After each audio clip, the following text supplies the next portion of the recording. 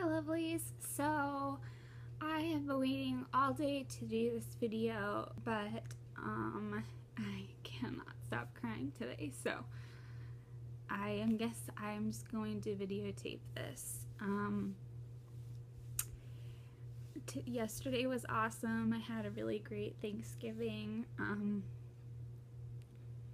today's just a hard day, and um, I think it's because I'm fearful and I know I shouldn't be fearful, but it just sneaks up on me every single time. But um,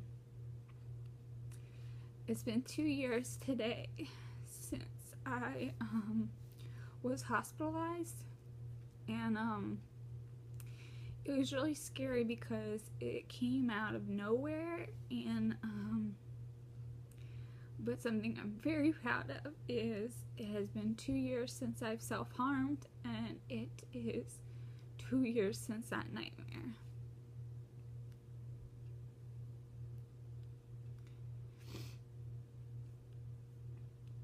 I don't know why I'm so emotional about it. Um, I think because I'm very fearful that like I'll go back to that place because it came like that um, I've been seriously depressed for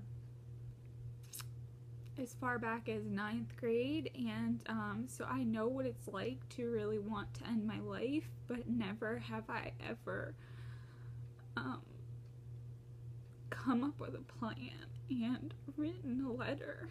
And um, it was weird because um, when I got back from the hospital, I, um, the psych ward, I should say. I went to the hospital and then they admitted me into the psych ward. And lucky for me, um, I talked to the um, psychiatrist on call that weekend and she actually did see me, which was rare for weekends. So I talked to her and like just told her I need to go home and like this is not for me because I was in like the um I don't want to say worst because I don't want to put that connotation on it, but like the highest level of watching you, like the highest threat. So, um, it was a very degrading and scary and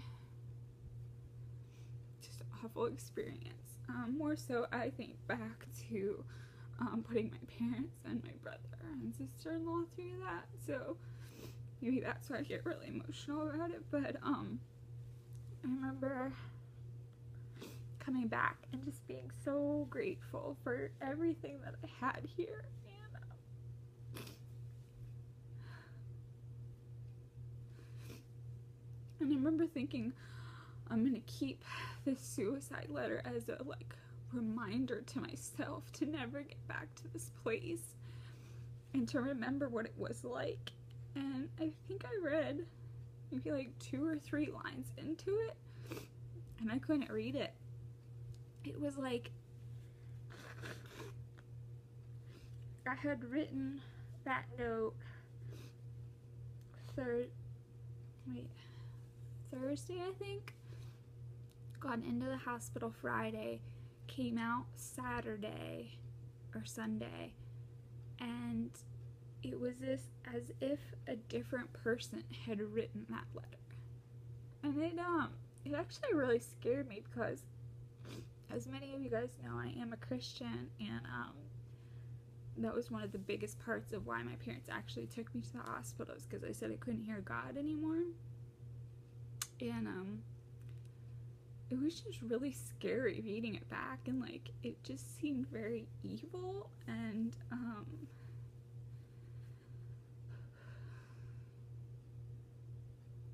I can't believe I'm like talking about this on my channel. Um, it was just very evil and scary and I'm not saying I was possessed or anything like that, but it really did seem like a completely different person that had written it, which is like very scary because the day before I went in, I was playing board, board games with my parents and like laughing and having a good time and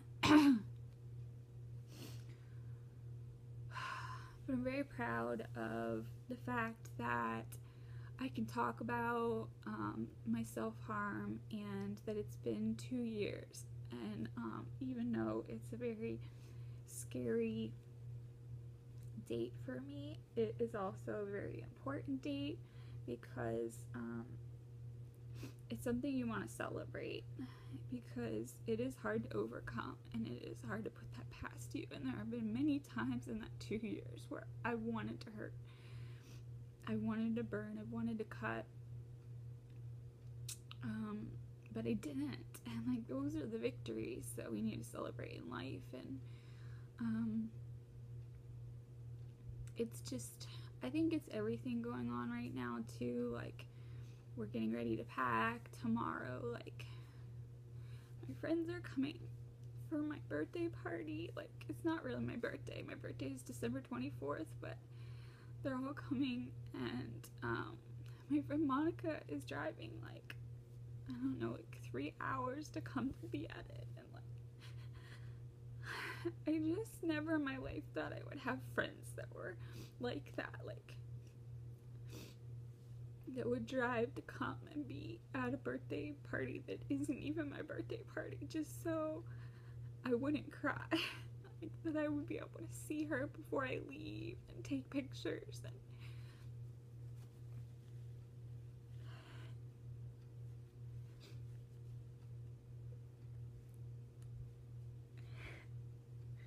I'm like smiling and crying at the same time because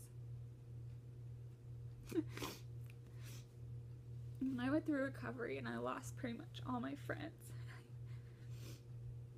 I truly in my mind never thought I would meet people again. Not those like, I knew I'd have like acquaintances and friends, but I never thought I would have the greatest friends of my life. And meeting any even more through this. Like, there's some people that watch these videos that I talk to about deeper and more secret stuff than I do to my bestest friends, you know, like it just depends because there's some people that experience the same thing I do, and so it's just a lot easier to talk to. And my friends are very busy, and it's just, you know, it's a time of being thankful and grateful, and like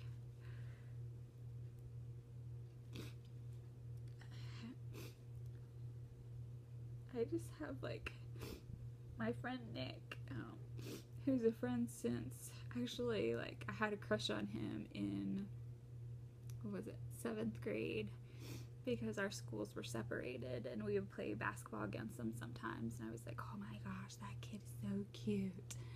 Um, but then we became friends and just like buddies in college and stuff and um, and you just like have these visions for people's lives? And um i guess some of them come true but you know he had met this beautiful girl. Like i cannot even express to you how beautiful she is. She looks like a freaking model. They look like an abercrombie and fitch like bag.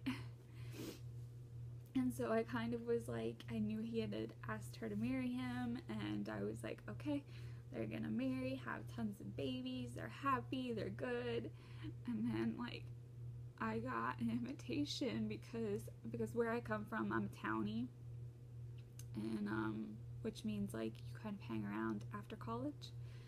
Um and we would all get together at the first before Thanksgiving because everybody was home for the holidays. And um, they were throwing an event there for him and how I found out that he had cancer. And like, God has it very present on my mind, which I'm very thankful for because every time I think about it, I just beg God.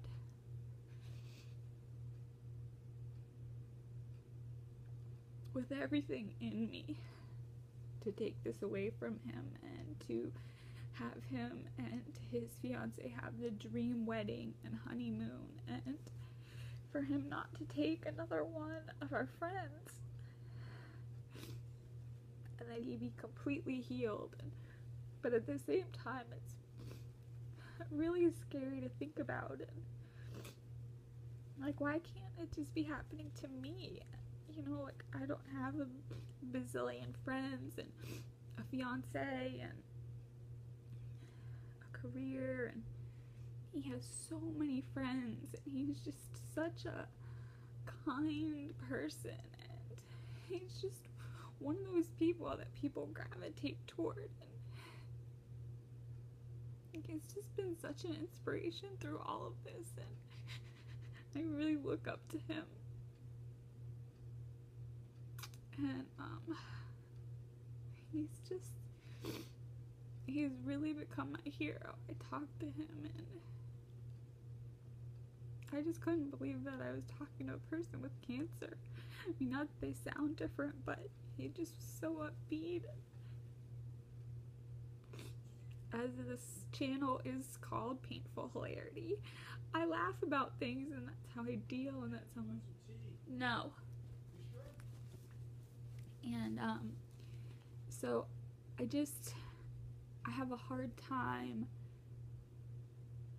not doing that with my friends. And you know you never know how to talk to someone especially if you haven't talked to them a little while. And he was joking with me and and um, it just shows someone's true spirit when they can like just try and make someone else smile and make them feel at ease when they're having such trouble. So um I don't know, it's just a lot of change going on right now, but along, I guess along with celebration of something not awful happening, you also remember that awful thing happening. So I just want to get through this day and feel better for tomorrow because I'm also not feeling well, and I think that's probably just bringing it down a lot and I just want to um,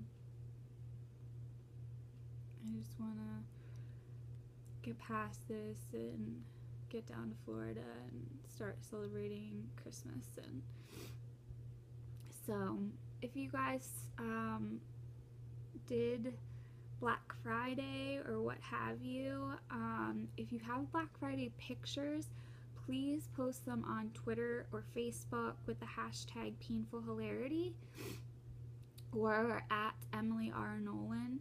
And if you did any Black Friday shopping online or in store, please let me know um, what you got or the good deals that you got. Um, I'm very interested to know because I can only get a few things because it's the end of the month. I hate that. Um,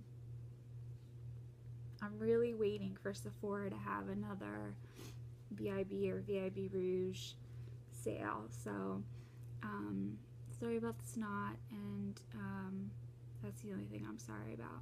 I hope you guys enjoyed this story. If you ever want to reach out to me um, about anything that is going on in your life, um, my information is in the down bar, and I hopefully hear from you if you are looking for somebody to talk to because I am blessed with a lot of people to talk to and with my faith. Um, and I by no means will press my faith down your throat if that's something that you worry about. Um, so, I'm going to go blow my nose, and I hope you guys are having a pain free, stress free day, getting really good deals on Black Friday and I'm sending out X double O's. And I love you guys so much, and I'll talk to you guys tomorrow. Bye.